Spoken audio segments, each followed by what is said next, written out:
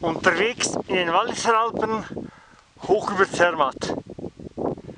Links Matterhorn, dann Derance, dann Obergabelhorn, Zielrothorn. Die letzten Meter auf den Gipfel vom Oberrothorn.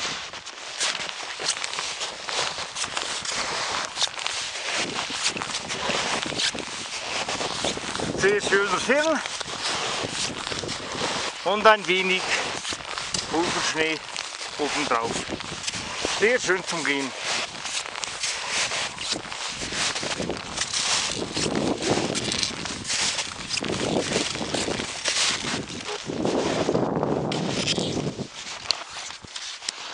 Ankunft auf dem Oberrothorn im Zentrum der Königskrone umringt von über 30 Vieltausender.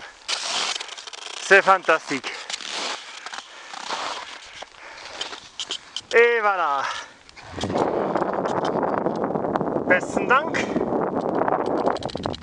und allen gute Touren.